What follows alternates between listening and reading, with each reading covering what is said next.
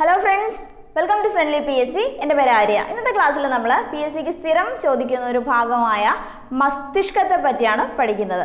അപ്പോൾ നമ്മളുടെ നാഡീവ്യവസ്ഥയെ നെർവസ് സിസ്റ്റത്തെ പ്രധാനമായിട്ട് രണ്ടായിട്ട് തിരിക്കാം. സെൻട്രൽ നെർവസ് സിസ്റ്റം എന്നും പെരിഫറൽ നെർവസ് സിസ്റ്റം എന്നും. അതിലെ സെൻട്രൽ നെർവസ് സിസ്റ്റത്തിൽ വരുന്നതാണ് മസ്തിഷ്കവും സുഷുമ്നയും. അതിലെ മസ്തിഷ്കത്തെ പറ്റിയാണ് നമ്മളിന്ന് പഠിക്കുന്നത്. അപ്പോൾ ഈ കാണുന്നത് മസ്തിഷ്കത്തിന്റെ ഛേദമാണ്. എന്ന് വെച്ചാൽ മസ്തിഷ്കം എടുത്ത് നടുക്ക് വെച്ച് മുറിച്ച് കാണുന്ന ഒരു ഭാഗം. അപ്പോൾ അതിൽ അതിൽ പ്രധാന ഭാഗങ്ങൾ ഞാൻ അടയാളപ്പെടുത്തിയിട്ടുണ്ട്. അപ്പോൾ നമ്മൾക്ക് ആദ്യം മസ്തിഷ്കത്തെ പറ്റി പ്രധാനപ്പെട്ട കുറച്ച് പോയിന്റ്സ് പറയാം. ചെറുതായിട്ട് ഗ്ലെയർ അടിക്കുന്നുണ്ട്. അടുത്ത ക്ലാസ്സിൽ ശ്രദ്ധിക്കാം കേട്ടോ. ഓക്കെ അപ്പോൾ മസ്തിഷ്കം. അപ്പോൾ മസ്തിഷ്കം എന്ന് പറയുന്നത് നമ്മളുടെ നാഡീവ്യവസ്ഥയുടെ കേന്ദ്രമാണ്. അതുപോലെ ന്യൂറോണുകൾ ധാരാളം കാണപ്പെടുന്ന ഒരു ഭാഗമാണ് നമ്മുടെ മസ്തിഷ്കം. അതുപോലെ മസ്തിഷ്കത്തെ സംരക്ഷിക്കുന്നത് ഒരു അസ്ഥി നിർമ്മിതമായ പേടകം അല്ലെങ്കിൽ അസ്ഥി നിർമ്മിതമായ ഒരു പേടകത്തിലാണ് നമ്മളുടെ മസ്തിഷ്കം സ്ഥിതി ചെയ്യുന്നത്. അതിനെ എന്ത് പറയും? കപാലം അഥവാ ക്രേനിയം എന്ന് പറയും. ഇമ്പോർട്ടന്റ് ആണ്. അപ്പോൾ കപാലത്തിന്റെ അകത്താണ് നമ്മുടെ മസ്തിഷ്കത്തെ സംരക്ഷിക്കപ്പെട്ടിരിക്കുന്നത്. അപ്പോൾ അസ്ഥി നിർമ്മിതമാണത് അതുപോലെ നമ്മുടെ മസ്തിഷ്കത്തെ പൊതിഞ്ഞ് മസ്തിഷ്കത്തെ സംരക്ഷിക്കുന്ന സ്തരപാളിയുടെ പേരാണ് മെനിഞ്ചസ്. അപ്പോൾ മെനിഞ്ചസ് എന്ന സ്തരപാളി മസ്തിഷ്കത്തെയും സുഷുമ്നയെയും ആവരണം ചെയ്ത് സംരക്ഷിക്കുന്നു. അത് പി എസ് സി എടുത്ത് ചോദിച്ച ക്വസ്റ്റ്യൻ ആണ് എൽ ഡി സിക്ക് അപ്പോൾ മെനിഞ്ചസ് പഠിച്ചല്ലോ? ഇനി നമ്മൾ പറഞ്ഞു ഈ മെനിഞ്ചസ് സ്ഥരപാളിയാണ് അപ്പോൾ മൂന്ന് ലെയറുകളായിട്ടാണ് മസ്തിഷ്കത്തെ ഇങ്ങനെ പൊതിഞ്ഞ് ആവരണം ചെയ്തിരിക്കുന്നത് അല്ലേ? പൊതിഞ്ഞ് സംരക്ഷിക്കുന്നത്. അപ്പോൾ ആ മെനിഞ്ചസിന്റെ സ്ഥരപാളികൾക്കുള്ളിൽ കാണപ്പെടുന്ന ഫ്ലൂയിഡാണ് സെറിബ്രോസ്പൈനൽ ഫ്ലൂയിഡ് അഥവാ സെറിബ്രോസ്പൈനൽ ദ്രവം. അപ്പോൾ ഈ സെറിബ്രോസ്പൈനൽ ദ്രവം നമ്മുടെ മസ്തിഷ്കത്തെ ബാഹ്യ ആഘാതങ്ങളിൽ നിന്നൊക്കെ സംരക്ഷിക്കുകയും ഓക്സിജനും പോഷകവും ഒക്കെ നൽകുകയും ചെയ്യുന്നു. അപ്പോൾ ഇത്രയാണ് ഇതിലെ പ്രധാന കാര്യങ്ങൾ ഇനി നമുക്ക് പഠിക്കാനുള്ളത് മസ്തിഷ്കത്തിലെ പ്രധാനപ്പെട്ട കുറച്ച് ഭാഗങ്ങളുണ്ട്. വി എസ് സി സ്ഥിരം ചോദിക്കുന്നതാണ്. Cerebrum cerebellum thalamus medulla oblongata hypothalamus തുടങ്ങിയതാണ് ആ ഭാഗങ്ങൾ അപ്പോൾ അത് കണ്ടുകൊണ്ട് പഠിച്ചാൽ മറന്നു പോവില്ല അതുകൊണ്ട് ഞാൻ ചെറുതായിട്ടൊരു ബ്രെയിനിന്റെ പടമൊക്കെ ഇവിടെ വരച്ചിട്ടുണ്ട്. അപ്പോൾ നമുക്ക് ഓരോ ഭാഗങ്ങളെ പറ്റിയും വിശദമായിട്ട് പഠിക്കാം. മസ്തിഷ്കത്തിന്റെ ആദ്യത്തെ ഭാഗം നമുക്ക് നോക്കാം. സെറിബ്രം അപ്പോൾ മസ്തിഷ്കത്തിലെ പടത്തിൽ തന്നെ കാണാം ഏറ്റവും വലിയ ഭാഗമാണ് സെറിബ്രം അല്ലേ? അതുപോലെ കണ്ടോ മടക്കുകളും ചുളിവുകളും ഒക്കെ കണ്ടോ പടത്തിൽ അപ്പോൾ മസ്തിഷ്കത്തിലെ മടക്കുകളും ചുളിവുകളും ഒക്കെയുള്ള ഭാഗമാണ് സെറിബ്രം മസ്തിഷ്കത്തിന്റെ ഏറ്റവും വലിയ ഭാഗം ഏതാണെന്ന് ചോദിച്ചാലും സെറിബ്രമാണ് അതുപോലെ ഇതിന്റെ ഫംഗ്ഷൻ എന്താണ്? നമ്മുടെ ശരീരത്തിലെ ഐശ്വിക പ്രവർത്തനങ്ങളെ നിയന്ത്രിക്കലാണ് ഫംഗ്ഷൻ ഐശ്വികം എന്താണ്? ഇച്ഛയ്ക്കനുസരിച്ച് നടക്കുന്ന പ്രവർത്തനങ്ങളെയൊക്കെ നിയന്ത്രിക്കുന്ന ഫംഗ്ഷനാണ് നമ്മുടെ സെറിബ്രത്തിനുള്ളത് ഫംഗ്ഷൻസ് ഏതൊക്കെയാണെന്ന് പറയാം. അതുപോലെ സെറിബ്രത്തിന്റെ താഴെ നീല കളറിൽ ഞാൻ വരച്ചിരിക്കുന്നുണ്ടോ? അതെന്താണ്? അത് ആ ഭാഗത്തിന്റെ പേരാണ് കോർപ്പസ് കലോസം കണ്ടോ? കോർപ്പസ് കലോസം അവൻ എന്താണ് ചെയ്യുന്നതെന്ന് വെച്ചാൽ ഈ ഇടത് വലത് അർദ്ധഗോളങ്ങളുണ്ട്. ഇപ്പോൾ ഞാൻ പറഞ്ഞു നമ്മുടെ മസ്തിഷ്കം നടുക്ക് ആയിട്ട് മുറിച്ചിട്ടാണ് ഒരു ഭാഗം കാണുന്നതെന്ന്. അപ്പോൾ ഈ ഭാഗത്ത് കാണുന്ന സെറിബ്രത്തെയും ഈ ഭാഗത്ത് കാണുന്ന സെറിബ്രത്തെയും തമ്മിൽ ബന്ധിപ്പിച്ചുകൊണ്ട് സ്ഥിതി ചെയ്യുന്ന ഭാഗത്തെയാണ് നമ്മൾ കോർപ്പസ് കലോസ് അല്ലെ? പശ പോലെ ബന്ധിപ്പിച്ച് ഇടത് വലത് സെറിബ്ര അർദ്ധഗോളങ്ങളെ തമ്മിൽ ഒട്ടിച്ചു വയ്ക്കുന്ന സാധനത്തിന്റെ പേരെന്താണ്? Corpus callosum. മറന്നു പോരുത് കോർപ്പസ് കലോസം. കല്ല് പോലെ ഉറപ്പിച്ചു വയ്ക്കുന്നു ഓർക്കുക കേട്ടോ. കോർത്ത് വയ്ക്കുന്നു അല്ലേ? ഇടത് വലത് അർത്ഥഗോളങ്ങൾ സെർബ്രത്തിന്റെ അർത്ഥഗോളങ്ങളെ കോർത്ത് കല്ല് പോലെ വയ്ക്കുന്നവനാണ് എന്ത്? കോർപ്പസ് കലോസം ടേമുകൾ സയൻസ് പഠിക്കാത്തവർക്ക് കിട്ടില്ല. അതുകൊണ്ടാണ് ഇങ്ങനത്തെ കോഡ് ഞാൻ പറയുന്നത് കേട്ടോ. അപ്പോൾ കോർപ്പസ് കലോസം കോർത്ത് കല്ല് പോലെ ഉറപ്പിച്ച് വെക്കുന്നു എന്ന് ഓർക്കുക കേട്ടോ. രണ്ട് ഇടത് വലത് അർത്ഥഗോളങ്ങളെ കോർപ്പസ് കലോസം ഇനി നമുക്ക് സെറിബ്രത്തിന്റെ പ്രധാന ഫങ്ഷൻസ് നോക്കാം. ഐശ്വിക പ്രവർത്തനങ്ങളെ നിയന്ത്രിക്കുന്നു എന്ന് പറഞ്ഞു. ചിന്ത ബുദ്ധി ഓർമ്മ ഭാവന ഇന്ദ്രിയാനുഭവം ഏതൊക്കെയാണ്? കാഴ്ച കേൾവി രുചി. ഈ പറയുന്ന പ്രധാന ഫങ്ഷൻസുകളെയൊക്കെ നിയന്ത്രിക്കുന്നവൻ ആരാണ്? സെറിബ്രമാണ്. അപ്പോൾ ചിലർക്ക് ഈ ആക്സിഡന്റ് ഒക്കെ വരുമ്പോൾ ഓർമ്മ പോകും അതുപോലെ കാഴ്ച പോകും ഫുഡിന് ടേസ്റ്റ് കിട്ടുന്നില്ല എന്നൊക്കെ പറയും അല്ലേ? അപ്പോൾ ഇപ്പോൾ ഞാൻ പറഞ്ഞു അച്ഛനൊരു ആക്സിഡന്റ് ആയി. അപ്പോൾ അച്ഛന് ഫുഡിന് ടേസ്റ്റ് ഇല്ലെന്നാണ് പറയുന്നത്. എന്തുകൊണ്ടാണ്? അച്ഛൻ ആക്സിഡന്റ് വന്നപ്പോൾ അച്ഛന്റെ സെറിബ്രത്തിനാണ് ചെറിയൊരു പരിക്ക് വന്നത്. അപ്പം അതുകൊണ്ടാണ് എന്റെ അച്ഛന് ഇപ്പോൾ ഫുഡിന് ടേസ്റ്റ് കിട്ടുന്നില്ല. അപ്പോൾ അത് പതുക്കെ പതുക്കെ റിക്കവർ ആ നമ്മുടെ സെറിബ്രത്തിന്റെ ആ ചതവൊക്കെ മാറി കഴിയുമ്പോഴേ അത് ശരിയാവുള്ളൂ. അപ്പോൾ അതാണ് ഞാൻ പറഞ്ഞത്. കാഴ്ച കേൾവി രുചി ഗന്ധം തുടങ്ങിയ കാര്യങ്ങളെയൊക്കെ നിയന്ത്രിക്കുന്നത്. അതിനെയൊക്കെ നമുക്ക് തിരിച്ചറിയാൻ സഹായിക്കുന്നതാണ് നമ്മളുടെ സെറിബ്രം ഇത് ഇമ്പോർട്ടന്റ് ആണ് കേട്ടോ. ചിന്ത ബുദ്ധി ഭാവന ഓർമ്മ കാഴ്ച കേൾവി രുചി ഇതിനൊക്കെ നിയന്ത്രിക്കുന്നത് നമ്മളുടെ സെറിബ്രമാണ്. ഇമ്പോർട്ടന്റ് പോയിന്റ് ആണ്. എപ്പോഴും ചോദിക്കുന്നതാണ് പി എസ് സി അടുത്തത് നമ്മളുടെ സെറിബ്രത്തിലെ രണ്ട് ഏരിയാസിന്റെ പ്രത്യേകത അഥവാ ഫങ്ഷൻസ് ആണ് പറയുന്നത്. ഏതൊക്കെയാണ്? ബ്രോക്കാസ് ഏരിയയും വെർണിക്സ് ഏരിയ ഇപ്പോൾ ബ്രോക്കാസ് ഏരിയ എന്ന് പറയുന്നത് നമ്മുടെ സെറിബ്രത്തിലെ ഒരു പ്രത്യേക ഏരിയയാണ് അപ്പോൾ അതിന്റെ ഫങ്ഷൻ എന്ന് പറഞ്ഞാൽ നമ്മുടെ സംസാര ഭാഷയ്ക്കുള്ള സെറിബ്രത്തിലെ ഏരിയയാണ് ബ്രോക്കാസ് ഏരിയ. കേട്ടോ ബ്രോക്കാസ് ഏരിയ ആണ് സംസാര ഭാഷയ്ക്കുള്ള സെറിബ്രത്തിലെ ഒരു ഏരിയ. അടുത്ത ഏരിയ ഏതാണ്? Wernicke's area. അപ്പോൾ പരിചയമുള്ള വസ്തുക്കളുടെ പേര് പറയുമ്പോൾ നമുക്കത് ഓർമ്മ കിട്ടുന്നില്ലേ? അപ്പോൾ അങ്ങനെ ഓർമ്മിപ്പിക്കുന്ന സെറിബ്രത്തിലെ പ്രത്യേക ഭാഗമാണ് വെർണിക്സ് ഏരിയ. അപ്പോൾ നമുക്ക് നേരത്തെ കണ്ട് പരിചയമുള്ള സാധനങ്ങളൊക്കെ ഇങ്ങനെ സ്റ്റോർ ചെയ്ത് വെക്കുന്ന ഒരു ഏരിയ അല്ലേ? വീണ്ടും പറയുമ്പോൾ അതിനെ ഓർത്തെടുക്കാൻ നമ്മളെ സഹായിക്കുന്ന സെറിബ്രത്തിന്റെ ഭാഗമാണ് വെർണിക്സ് ഏരിയ. അതുപോലെ സെറിബ്രത്തിന്റെ പുറമേയുള്ള ഭാഗത്തെ ഗ്രേ മാറ്റർ അഥവാ കോർട്ടക്സ് എന്ന് പറയുന്നു. സെറിബ്രത്തിന്റെ ഉള്ളിലെ ഭാഗത്തെ വൈറ്റ് മാറ്റർ അഥവാ മെഡുല്ല എന്നും പറയുന്നു. അടുത്ത മസ്തിഷ്കത്തിന്റെ ഭാഗമാണ് സെറിബെല്ലം.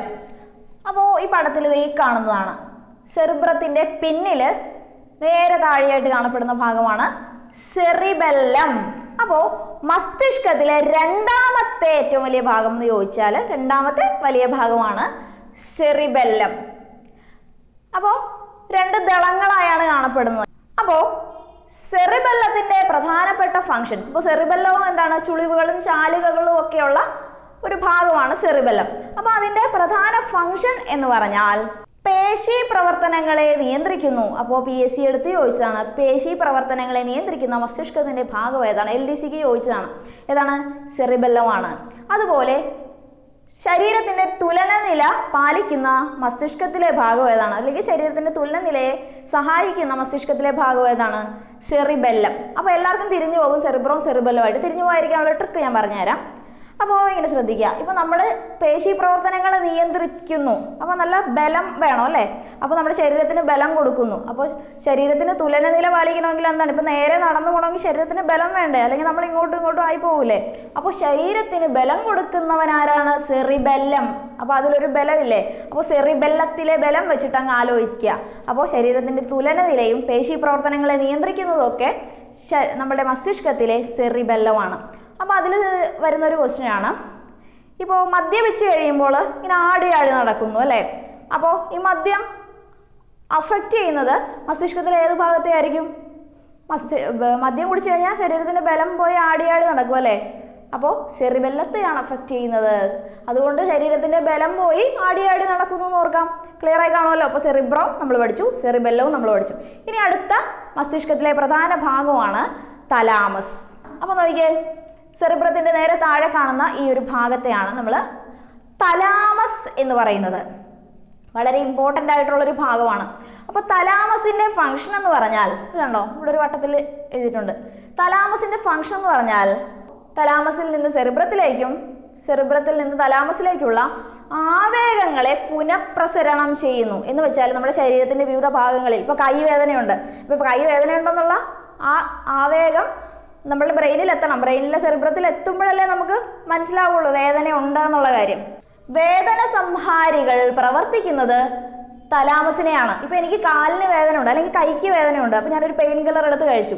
അപ്പോൾ കൈക്ക് വേദനയുണ്ട് കൈക്ക് വേദനയുണ്ടോ എന്ന് പറയുന്ന ആവയങ്ങൾ തലാമസിൽ എത്തിയിട്ട് തലാമസിൽ നിന്ന് നമ്മളുടെ സെറിബ്രത്തിലേക്ക് എത്തണം. അപ്പോൾ തലാമസിനെ അങ്ങ് തളർത്തി കളയും. അപ്പോൾ വേദനയുണ്ടേ വേദനയുണ്ടെന്ന് പറഞ്ഞ് തലാമസിൽ ചെല്ലുമ്പോൾ അവൻ മയങ്ങി കിടക്കുകയാണ്. കാരണം അവന് പുനഃപ്രസരണം ചെയ്യാനുള്ള ആവതില്ലാതാകുന്നു കാരണം എന്താണ്? നമ്മുടെ വേദന സംഹാരി തലാമസിനെ തളർത്തി കളയുന്നു. അപ്പോൾ അതുകൊണ്ട് നമ്മുടെ സെറിബ്രത്തിൽ എത്തുന്നില്ല. അതുകൊണ്ട് നമ്മൾ വേദനയുണ്ടെന്ന് അറിയുന്നുണ്ടോ? ഇല്ല. നമ്മുടെ ബ്രെയിൻ അല്ലേ? സെറിബ്ര അറിഞ്ഞാലല്ലേ നമ്മൾ അറിയുള്ളൂ. മനസ്സിലായി കാണുമെന്ന് വിചാരിക്കുന്നു. അപ്പോൾ ശ്രദ്ധിക്കുക. ഇന്ന് പി എസ് സിക്ക് സ്ഥിരം ചോദിക്കുന്ന രണ്ട് മൂന്ന് പോയിന്റ്സുകളിൽ നമ്മൾ പഠിച്ചു. ആദ്യത്തേതാണ് സെറിബെല്ലം ഇപ്പോൾ ശരീരത്തിന്റെ ബലത്തെ വെച്ചിട്ട് ശരീരത്തിന്റെ തുലന നിലയെ സഹായിക്കുന്നു. പിന്നെ തലാമസ്. തലാമസിൽ പ്രധാനപ്പെട്ട ഭാഗം പഠിക്കാനുള്ള എന്താണ്? വേദന സംഹാരികൾ പ്രവർത്തിക്കുന്നത് തലാമസിലാണ്. അടുത്തൊരു പ്രധാന പോയിന്റ് ആണ് നമ്മുടെ തലാമസിനെ relay station of the brain എന്ന് പറയും. നമ്മുടെ ശരീരത്തിന്റെ വിവിധ ഭാഗങ്ങളിലുള്ള ആവയങ്ങളെ തലാമസിൽ എത്തിച്ച് തലാമസ് സെറിബ്രത്തിൽ എത്തിക്കും. സെറിബ്രം ഓർമ്മയുടെ ബുദ്ധിയുടെ ബോധത്തിന്റെ കേന്ദ്രം. അപ്പോൾ ആ ഇന്ന സ്ഥലത്ത് വേദനയുണ്ട് എന്നുള്ള ബോധം ഉളവാക്കാൻ നമ്മളെ സഹായിക്കുന്നത് സെറിബ്രമാണ്. അപ്പോൾ തിരിച്ച് അവിടെ നിന്നുള്ള ആവേഗങ്ങളെ ആരാണ്? തലാമസ് വഴി ഇന്ന സ്ഥലത്തേക്ക് എത്തിക്കുന്നു. അപ്പോൾ അങ്ങോട്ട് കൊടുക്കും ഇങ്ങോട്ട് കൊടുക്കുകയും ചെയ്യുന്നത് കൊണ്ടാണ് നമ്മുടെ തലാമസിനെ റിലേ സ്റ്റേഷൻ റിലേ പോലെയാണല്ലേ അങ്ങോട്ട് കൊടുക്കുന്നു അവിടെ നിന്നുള്ളത് ഇങ്ങോട്ട് മേടിക്കുന്നു. അതുകൊണ്ടാണ് അവന് relay station of the brain എന്ന് പറയുന്നത്. ക്ലിയർ ആയല്ലോ? നമുക്ക് അടുത്ത ഭാഗം നോക്കാം. ഹൈപ്പോ തലാമസ് തലാമസിന് തൊട്ട് താഴെയായി കാണപ്പെടുന്ന ഭാഗമാണ് ഹൈപ്പോ തലാമസ് ഇമ്പോർട്ടന്റ് ആണ്. അപ്പോൾ ഹൈപ്പോ തലാമസിന്റെ പ്രധാന ഫങ്ഷൻസ് ഏതൊക്കെയാണെന്ന് ചോദിച്ചാൽ ശരീര താപനില നിയന്ത്രിക്കുക. ശരീര താപനില നിയന്ത്രിക്കുന്നു. അതുപോലെ വിശപ്പ് ദാഹം ലൈംഗികാസക്തി ശരീരത്തിലെ ജലത്തിന്റെ അളവ് നിയന്ത്രിക്കുക തുടങ്ങിയ ഫങ്ഷൻസ് ആണ് ഹൈപ്പോതലാമസ് അപ്പോൾ നമ്മുടെ ശരീരത്തിലെ ജലത്തിന്റെ അളവ് നിയന്ത്രിക്കുന്നത് ആരാണ്? ബ്രെയിനിന്റെ ഏത് ഭാഗമാണ് ഹൈപ്പോതലാമസ് ഇമ്പോർട്ടന്റ് ആണ്. അതുപോലെ ദാഹം വിശപ്പ് ലൈംഗികാസക്തി ശരീര താപനില ഇതൊക്കെ ഇമ്പോർട്ടന്റ് ആണ്. അടുത്തത് നമ്മളുടെ ഹൈപ്പോതലാമസ് പ്രൊഡ്യൂസ് ചെയ്യുന്ന രണ്ട് ഹോർമോൺസ് ആണ് വാസോപ്രസിനും ഓക്സിറ്റോസിനും അതിൽ ഈ ഓക്സിടോക്സിൻ പ്രസവ സമയത്ത് പ്രസവം സുഗമമാക്കുന്നതിന് സഹായിക്കുന്നതാണ്. അതുപോലെ വാസോപ്രസിൻ സഹായിക്കുന്നത് നമ്മുടെ ജലത്തിന്റെ പുനരാകിരണത്തെയാണ് ഇപ്പം നമ്മൾ ഓൾറെഡി പഠിച്ചു അല്ലെ? ജലത്തിന്റെ അളവ് നിയന്ത്രിക്കുന്നു ശരീരത്തിലെ. അപ്പോൾ അതിനെ സഹായിക്കുന്ന ഹോർമോണാണ് വാസോപ്രസിൻ അപ്പോൾ ഇത്രയാണ് നമ്മുടെ ഹൈപ്പോതലാമസിലെ പ്രധാനപ്പെട്ട ഫങ്ഷൻസ് ഇനി അടുത്ത ഭാഗം നമുക്ക് നോക്കാം. അടുത്ത ഭാഗമാണ്. എന്താകൃതിയിൽ കാണപ്പെടുന്ന മസ്തിഷ്കത്തിന്റെ ഭാഗമാണ് മിഡിൽ ഒബ്ലാങ്കേറ്റ വളരെ ഇമ്പോർട്ടന്റ് ആയിട്ടുള്ള ഭാഗമാണ് അല്ലേ കാരണം എന്താണ്? ഈ ആക്സിഡന്റിലൊക്കെ പെട്ട് മിഡിൽ ഒബ്ലാങ്കേറ്റയ്ക്കൊക്കെ ഇടി കൊണ്ടാൽ എന്താണ് അപ്പോൾ തന്നെ ആൾ പോകും അപ്പോൾ അത് എന്തുകൊണ്ടാണെന്ന് ഇപ്പോൾ പറയാം അപ്പോൾ മിഡിൽ ഒബ്ലാങ്കേറ്റ ഈ ഒരു ദണ്ഡാകൃതിയിൽ കാണുന്ന ഭാഗമാണ്. അപ്പോൾ മിഡിൽ ഒബ്ലാങ്കേറ്റയുടെ പ്രധാന ഫംഗ്ഷൻ ഇതാണ് നമ്മുടെ ശരീരത്തിന്റെ അനൈശ്ചിക പ്രവർത്തനങ്ങളെ നിയന്ത്രിക്കുന്നു. അപ്പോൾ അനൈശ്ചിക പ്രവർത്തനം എന്താണ്? നമ്മുടെ ഇച്ഛയ്ക്ക് അനുസരിച്ചല്ലാത്ത പ്രവർത്തനമാണ് അനൈശ്ചിക പ്രവർത്തനം. അപ്പോൾ ഹൃദയമിടിപ്പ് ശ്വസനം ഇതൊക്കെ നമ്മുടെ ഇച്ഛയ്ക്ക് അനുസരിച്ചാണോ? അല്ലല്ലോ? ആ അപ്പോൾ അതൊക്കെയാണ് അനൈശ്ചിക പ്രവർത്തനം. അപ്പോൾ ഇതിനെ നിയന്ത്രിക്കുന്നവനാണ് മിഡിൽ ഓബ്ലാങ്കറ്റ് അപ്പോൾ അതുകൊണ്ടാണ് അവൻ എന്തെങ്കിലും പ്രശ്നം വന്നാൽ പെട്ടെന്ന് നമ്മുടെ ഹൃദയത്തിന് എന്തെങ്കിലുമൊക്കെ പറ്റി അപ്പോൾ തന്നെ പോകുന്നത്. അപ്പോൾ അപ്പോൾ ഹൃദയസ്പന്ദനം ശ്വസനം എന്നിവയൊക്കെ നിയന്ത്രിക്കുന്ന ഇനി അനൈശ്ചിക പ്രവർത്തനങ്ങളെയൊക്കെ നിയന്ത്രിക്കുന്ന ആളാണ് നമ്മുടെ മിഡിൽ ഓബ്ലാങ്കേറ്റ അതുപോലെ തുമ്മൽ ചുമ ഛർദി തുടങ്ങിയ അനൈശ്ചിക പ്രവർത്തനങ്ങളെ നിയന്ത്രിക്കുന്നത് മെഡുല്ല ഒബ്ലാങ്കേറ്റയാണ്. അപ്പോൾ നോക്കിയേ ഇപ്പോൾ ആദ്യം നമ്മൾ പഠിച്ച ഭാഗമാണ് സെറിബ്രം. അവന്റെ പ്രധാന ഫംഗ്ഷൻ എന്തായിരുന്നു? ഐശ്ചിക പ്രവർത്തനങ്ങളെ നിയന്ത്രിക്കുന്നു. ഏറ്റവും ഒടുവിൽ താഴെ പഠിച്ച ആളാരാണ്? Medulla oblongata. അവന്റെ പ്രവർത്തനം എന്താണ്? അനൈശ്ചിക പ്രവർത്തനങ്ങളെ നിയന്ത്രിക്കുന്നു. ക്ലിയർ ആയല്ലോ? അപ്പോൾ സ്ഥിരം പി എസ് സിക്ക് ചോദിക്കാറുള്ള മസ്തിഷ്കത്തിലെ ഭാഗങ്ങളെ പറ്റിയുള്ള പ്രധാന കാര്യങ്ങളൊക്കെ നമ്മൾ ഓൾറെഡി പറഞ്ഞു. ഇനി ഇതിന്റെ balance S C R T text പത്താം ക്ലാസ്സിലെ ബയോളജി ഓരോ ചാപ്റ്റർ വൈസ് ഞാൻ ചെയ്യാം. അപ്പോൾ കുറച്ചുകൂടി ഡീറ്റെയിൽ ആയിട്ട് നമുക്ക് പഠിക്കാം. അപ്പോൾ ഇത്രയാണ് ഇന്നത്തെ ഫ്രണ്ട്ലി പി എസ് ക്ലാസ് എല്ലാവർക്കും മനസ്സിലായെന്ന് വിചാരിക്കുന്നു. അതുപോലെ ഞാൻ എടുക്കുന്ന ക്ലാസ് ഒക്കെ നമ്മുടെ ഫ്രണ്ട്ലി പി എസ് സിയുടെ പ്ലേ ലിസ്റ്റിൽ ഇടുന്നുണ്ട്. അപ്പോൾ അതൊക്കെ നോക്കി നിങ്ങൾക്ക് ആവശ്യമുള്ള ക്ലാസ് ഒക്കെ കാണുക. അപ്പോൾ എന്റെ ക്ലാസ് ഇഷ്ടപ്പെട്ടാൽ friendly P S C like ചെയ്യുക ഷെയർ ചെയ്യുക സബ്സ്ക്രൈബ് ചെയ്യുക. അതുപോലെ നിങ്ങൾക്ക് ഈ ബയോളജിയിൽ ആവശ്യപ്പെട്ട ഏത് ഭാഗമാണെന്നുള്ളത് കമന്റ് ചെയ്താൽ നമുക്ക് ആ സെക്ഷൻ ആദ്യം ആദ്യം എടുത്തു പോവാം. അപ്പോൾ ഓക്കെ താങ്ക്